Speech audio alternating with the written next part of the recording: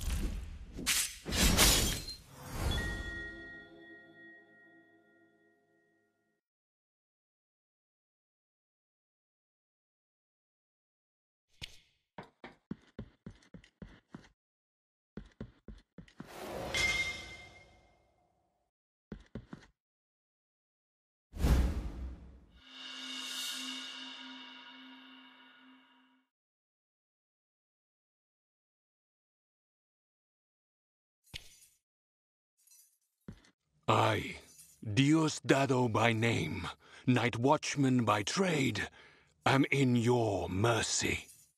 You have my gratitude for having silenced such an unbearable sound.